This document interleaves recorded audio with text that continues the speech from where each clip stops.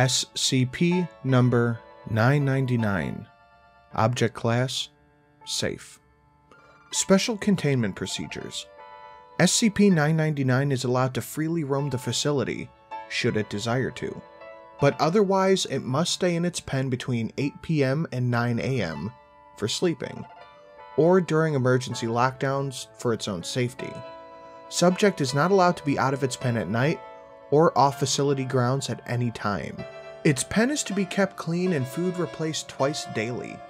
All personnel are allowed inside SCP 999's holding area, but only if they're not assigned to another task at that time or if they're on break. Subject is to be played with when bored and spoken to in a calm, non threatening tone. Description SCP 999 appears to be a large, amorphous, gelatinous mass of translucent orange slime, weighing about 120 pounds, with a consistency similar to that of peanut butter. The subject's size and shape is easily malleable, and it can change shape at will, though when at rest, the anomaly becomes rounded and an oblate dome roughly 2 meters wide and 1 meter tall.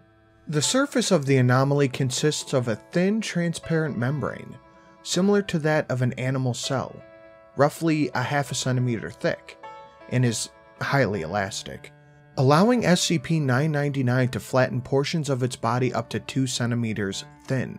The surface is also hydrophobic, although 999 can willfully absorb liquids, see Addendum SCP 999A, the rest of SCP 999's body is filled with a viscous orange substance of unknown chemical makeup. Although it is capable of digesting organic materials with relative ease. Subject's temperament is best described as a dog, playful.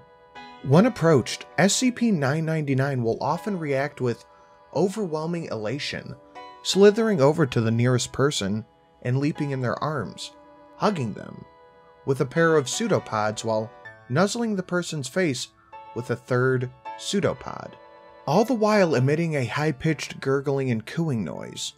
The surface of SCP 999 is emitting a pleasant odor that differs with whoever is interacting with it.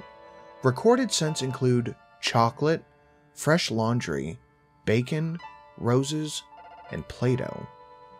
Simply touching SCP 999's surface causes an immediate and mild euphoria, which intensifies with the longer exposure to SCP 999 and lasts long after separation from the creature. Subject's favorite activity is tickle wrestling. This is often done by completely enveloping the person from the neck down and, well, tickling them until they're asked to stop. Though it doesn't always immediately comply with this request. Though injuries may occur, SCP 999 has never been purposely attempt to harm or hurt somebody, and will immediately back away and contrast its body into a quivering mound while gurgling in a manner to something similar to a whimpering dog, seemingly apologizing for hurting someone on accident. While the creature will interact with anyone, it seems to have a special interest to those who are unhappy or hurt in any way.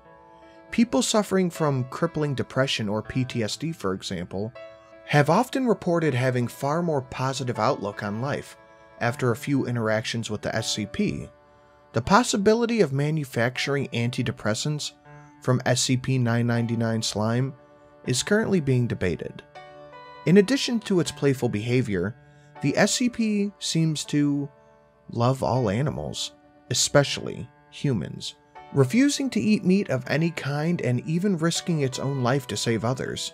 On one occasion, leaping in front of a person about to take a bullet fired at them. The SCP's intellect is still up for debate, although it's seemingly infantile.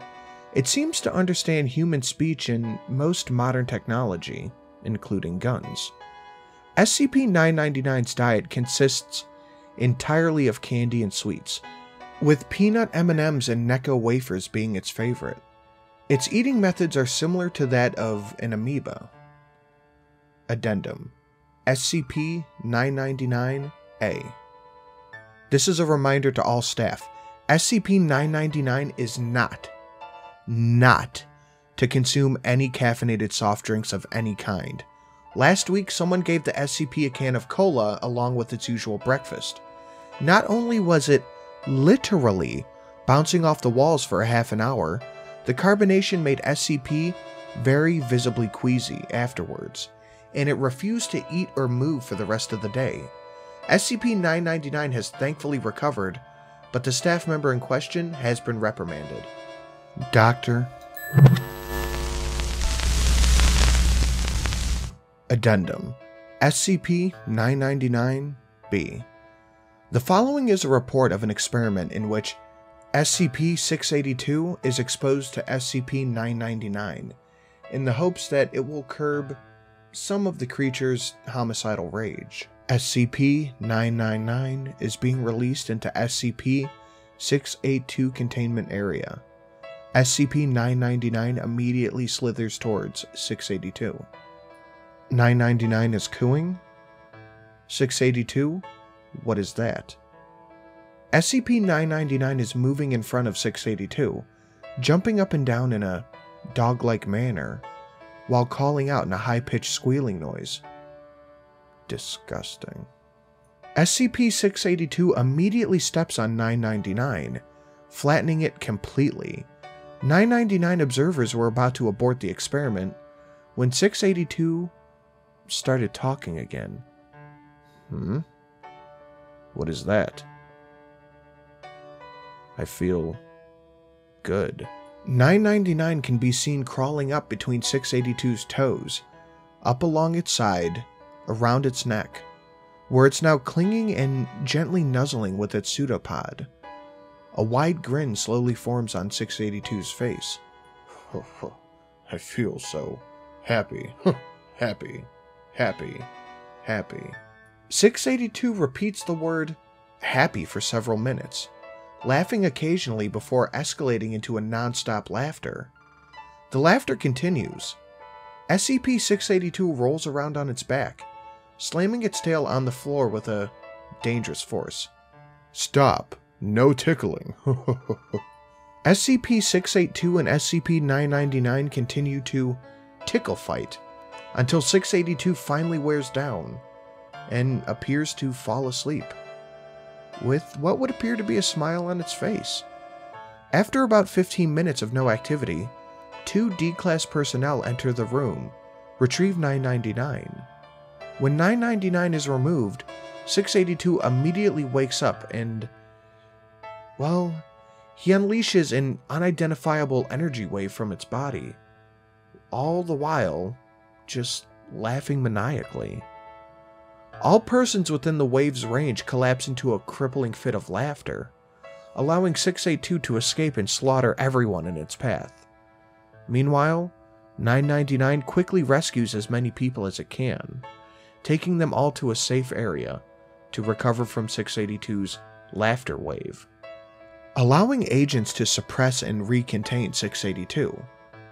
Despite the tragedy that 682 had brought upon the facility, 999 has not shown any fear towards the creature. In fact, it has made gestures that it wants to play with 682 again. 682 has, however, that feculent little can and die. Memo. From Dr. While the test was unsuccessful and ended in tragedy, that had to be the funniest thing I had ever seen. I never thought I would see the day when I could regard SCP 682 as cute. Send me a copy of the security tapes, ASAP.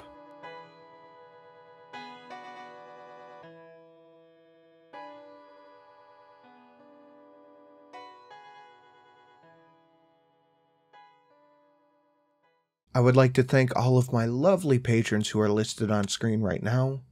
Dan R, Paul Z, Cody V, Chaos X, Mr. Swiston, Official Jerboa, JY, Pyromancer, Hayden MH, Ethan A, Dark Side of the Bear, Daniel H, and Maximilian Charles P.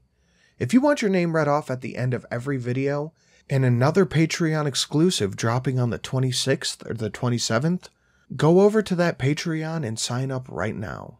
Thank you. It really does keep this channel alive.